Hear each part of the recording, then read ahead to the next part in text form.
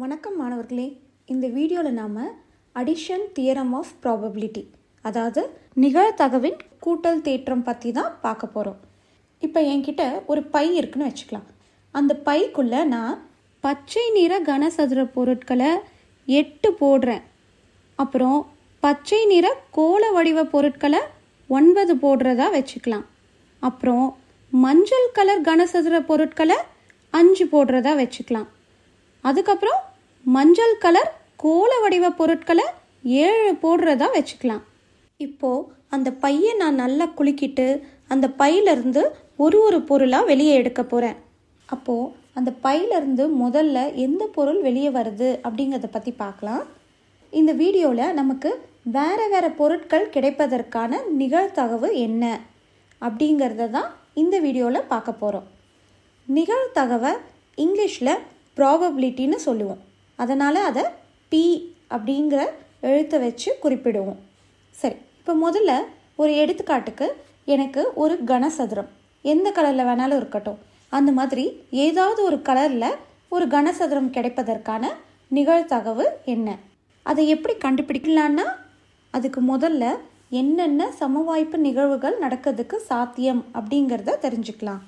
நம்மக்கிட்ட மொத்தம் அந்த பைக்குள்ளே எத்தனை பொருட்கள் இருக்குன்னு பார்த்தீங்கன்னா எட்டு கூட்டல் ஒன்பது பதினேழு கூட்டல் அஞ்சு இருபத்தி ரெண்டு கூட்டல் ஏழு இருபத்தி ஒம்பது பொருட்கள் இருக்குது இப்போ நம்ம என்னென்ன பொருட்கள் கிடைப்பதற்கான சாத்தியம் அப்படிங்கிறத ஒரு வெண் வரைபடமாக நாம் வரைஞ்சிக்கலாம்.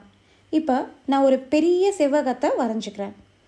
இது எதை குறிக்குதுன்னா அந்த சம வாய்ப்புள்ள இருபத்தி ஒம்பது சாத்தியமான பொருட்களை குறிக்குது.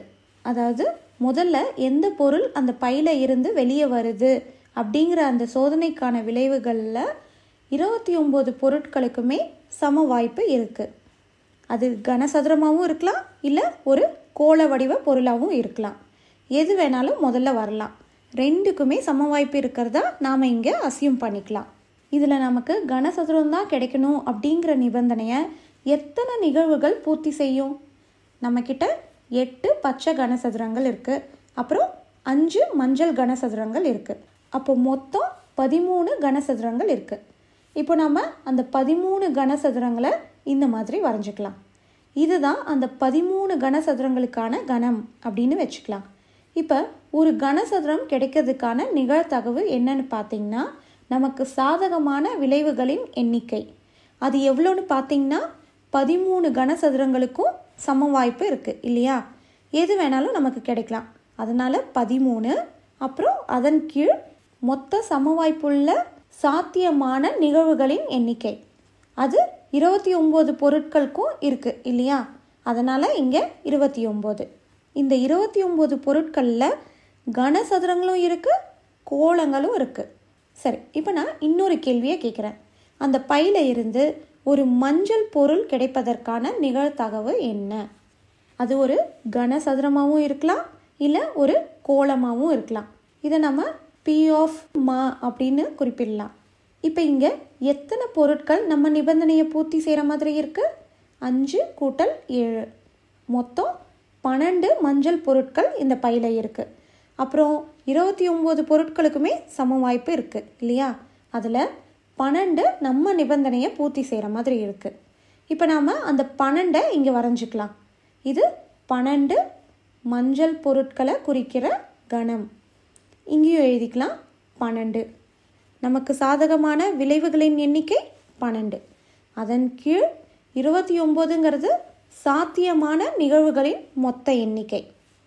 ஒரு கனசதுரம் கிடைக்கிறதுக்கான நிகழ்தகவு என்னன்னு பார்த்தீங்கன்னா பதிமூணின் கீழ் இருபத்தி ஒம்பது அப்புறம் ஒரு மஞ்சள் பொருள் கிடைக்கிறதுக்கான நிகழ்தகவு என்னன்னு பார்த்தீங்கன்னா பன்னெண்டின் கீழ் இருபத்தி ஒம்பது சரி இப்போ இன்னும் கொஞ்சம் இன்ட்ரெஸ்டிங்கான கேள்வி ஒன்று கேட்குறேன் ஒரு மஞ்சள் கனசதுரம் கிடைப்பதற்கான நிகழ்தகவு என்ன? அதாவது அந்த கனசதுரம் மஞ்சள் கலர் நமக்கு சாத்தியமான நிகழ்வுகளின் எண்ணிக்கை எவ்வளோன்னு பார்த்தீங்கன்னா இருபத்தி ஒம்பது அப்புறம் நமக்கு சாதகமான விளைவுகளின் எண்ணிக்கை எவ்வளோன்னு பார்த்தீங்கன்னா அஞ்சு.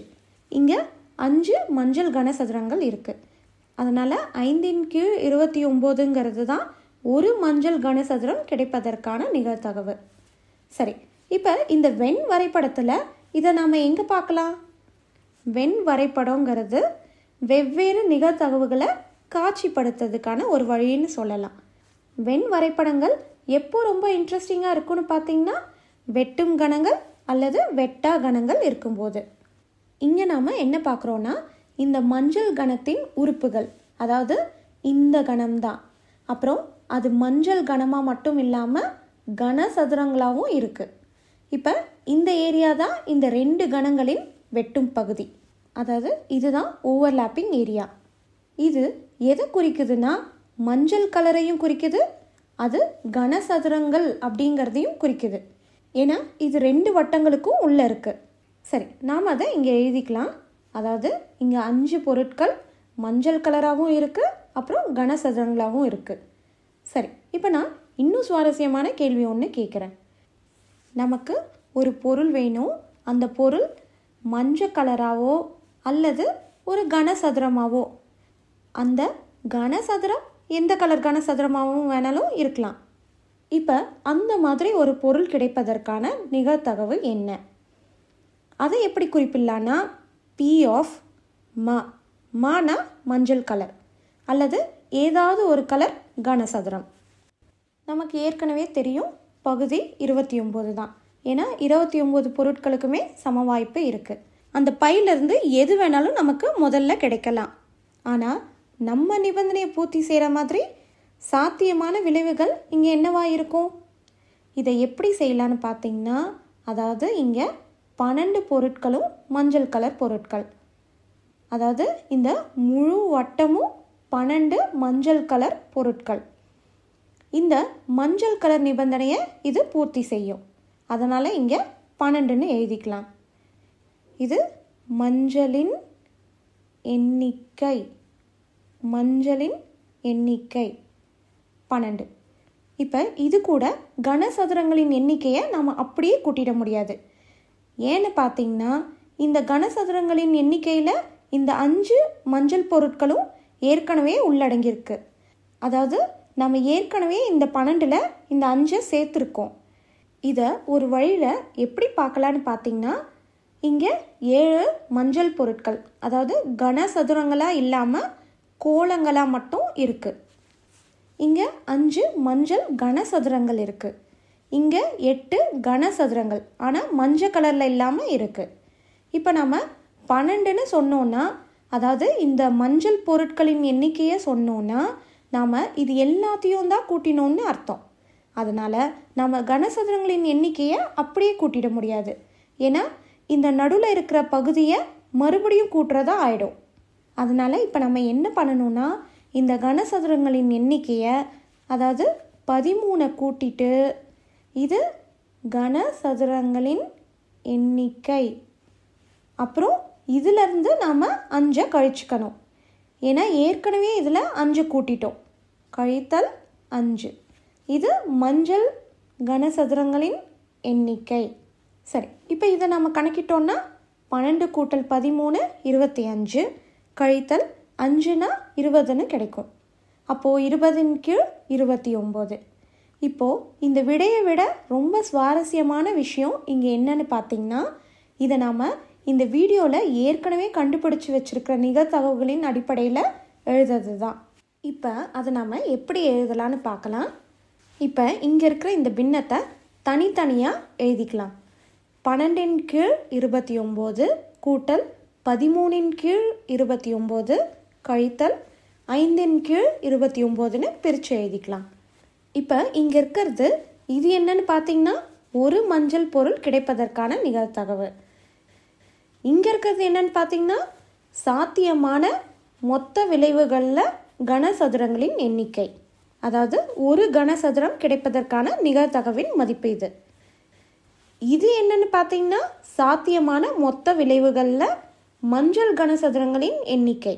அதாவது கழித்தல் ஒரு கனசதுரம் அதுவும் அது மஞ்சள் கனசதுரமாக இருப்பதற்கான நிகழ்தகவின் மதிப்பு அது.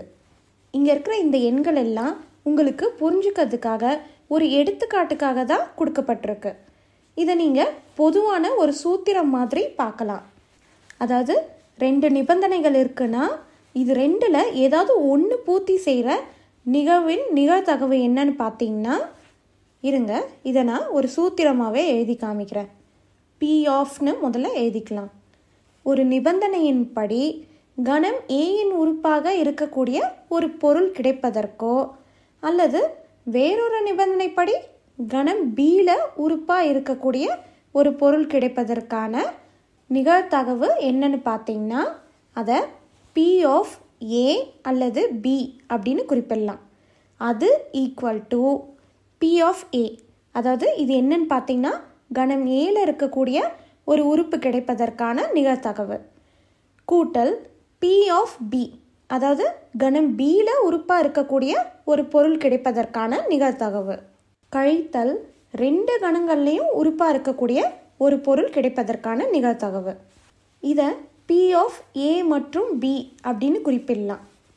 இதை தான் நாம் நிகழ்தகவின் கூட்டல் தேற்றம் அப்படின்னு சொல்லுவோம். இப்போது இங்கே இருக்கிறத பார்த்தீங்கனாவே உங்களுக்கே புரியும். அதாவது ஏன் இந்த ரெண்டு நிகழ்த்தகவுகளை மட்டும் அப்படியே கூட்டிட முடியாது அப்படின்னு? ஏன்னா இது ரெண்டுலேயும் வெட்டும் பகுதி இருக்கும். அது ரெண்டுமே கிடைக்கிறதுக்கான சாத்தியம் இருக்குது இப்போ இது ரெண்டையும் நம்ம அப்படியே கூட்டிட்டோன்னா நம்ம இங்கே இருக்கிற இந்த வெட்டும் பகுதியை ரெண்டு முறை கூட்டுறதா ஆயிடும். அதனால் இது ரெண்டு முறை கூட்டக்கூடாது அப்படிங்கிறதுக்காக ஒரு முறை அந்த வெட்டும் பகுதியின் எண்ணிக்கையை நம்ம கழிச்சுக்கிறோம். சில சமயங்களில் வெட்டும் பகுதியே இல்லாமையும் இருக்கும்.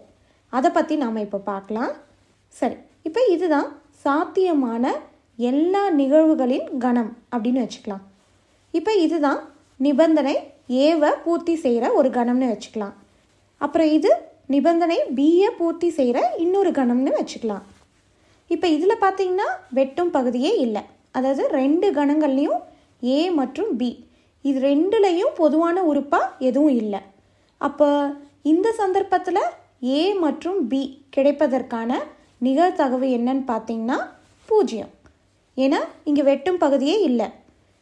இப்போ இதை நாம் என்னன்னு சொல்லுவோம்னு பார்த்தீங்கன்னா மியூச்சுவலி எக்ஸ்க்ளூசிவ் ஈவெண்ட்ஸ் அதாவது ஒன்றை ஒன்று ஒன்றை ஒன்று விளக்கும் நிகழ்ச்சிகள்.